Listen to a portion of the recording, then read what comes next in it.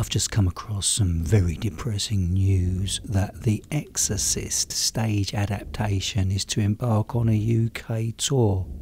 I wasted my time witnessing this bloody terrible adaptation in London's West End when it was released.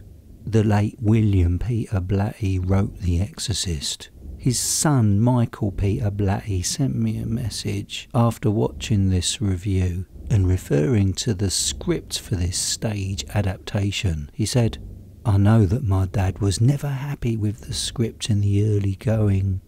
So, for your convenience, I'm going to save your money and your valuable time with this video review.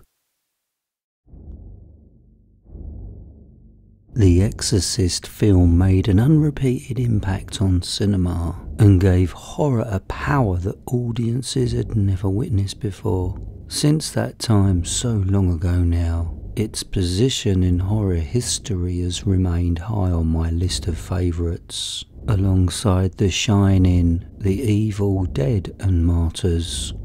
BBC Radio released a play of The Exorcist, which is embarrassing, possibly due to BBC Dinosaur producers, an uncreative director, and theatrical actors who are not right for work that demands believable interpretation. In London's West End a few hours ago, I had an open mind and low expectations. I enjoyed the church sounds and voices being pumped through the auditorium speakers of the Phoenix Theatre on Charing Cross Road. This set the atmosphere really well. Just before the play started, a huge ear bashing bang erupted sending the whole place into pitch black, which was a wonderful and a downright frightening way to get the audience ready for what's to come. The stage set design is like a cutout of a doll's house, Regan's home, when one room or section was in action, leaving three quarters of the stage in darkness, it made the drama seem further away. Visually, it was too small. The best thing about the set was Regan's bedroom because of the colours used and those bedroom wall effects. Every other part of the set is forgettable. Running for just 1 hour and 40 minutes with no interval, the pace is rushed. The actors were given no space to let their characters breathe. The reduced Shakespeare Company did all 37 plays in 97 minutes. Well, this production is like that, the lightning fast version of The Exorcist. Some scenes are bookended with loud bangs and bright white flashing lights. But there's nothing happening on stage that pulls you into any horrific experience. There's only a couple of interesting scenes where the demon actually chats with Regan. It's grooming her.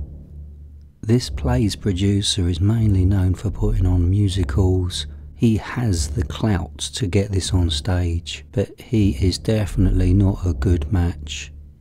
Perhaps is the West End stage version of what Simon Cowell is to the music industry churning out what sells tickets and not what's creative or challenging.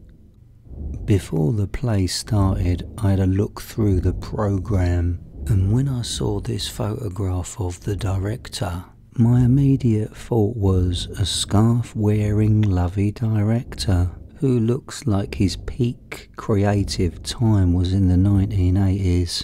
Oh dear, this evening's production ain't gonna work. I can just tell how everything in this play is to roll from this single photograph. How shallow am I? But you know what? I was so right. Adam Garcia plays Damien Karras. This performer's talent is in musicals and dancing. I expected him to break into a song or start his Tony Manero dancing from the musical Saturday Night Fever he did years ago. Seriously bad casting. You just can't have The Exorcist featuring musical theatre types.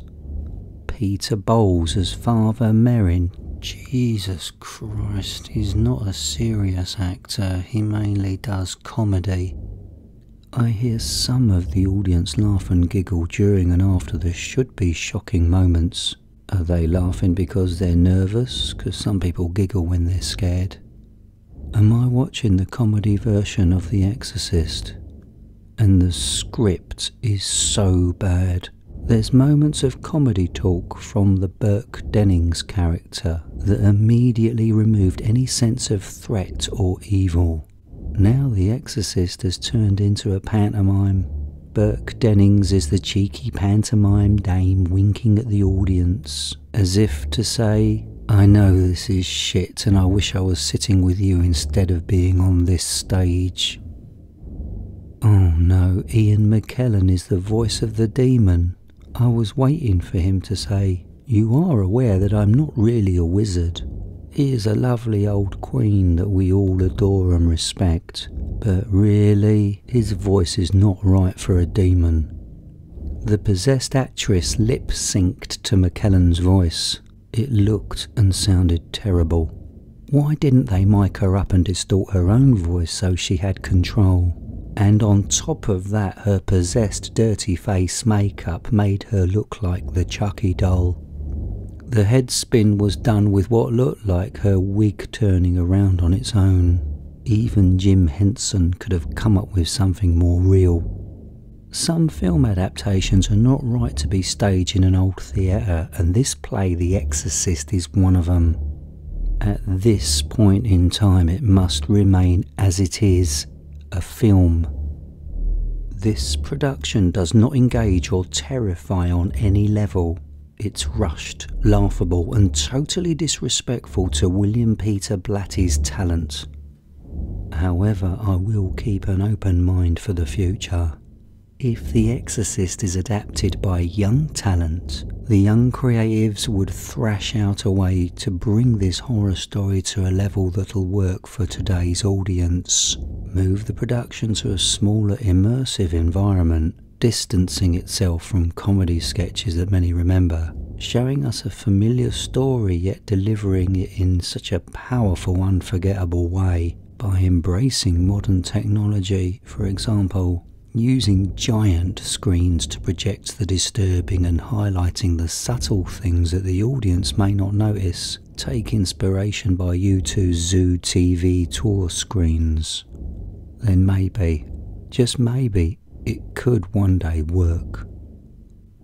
There's absolutely no reason this current production has been put together apart from making money from tourists and pissing off passionate Exorcist fans that hope to relive that unique feeling they once had when seeing the film.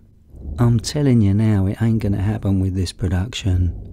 After the curtain came down, I heard an older guy who happened to be wearing an awesome The Exorcist film t shirt say to his friend, They've just ruined the greatest film ever made. I couldn't say it better myself. Watching work that must feel real, unforgettable, and be a jaw dropping experience is totally diluted because you've got loads of other people sitting around you. There's so much horror talent in the world. How dare this bunch fuck up such an incredible story? Mainstream theatre will hopefully become exciting and challenging one day when these dull, old school, talentless dinosaur producers and directors who put shit like this on the stage become extinct. They've had their time step down and let the new talent of the future have theirs.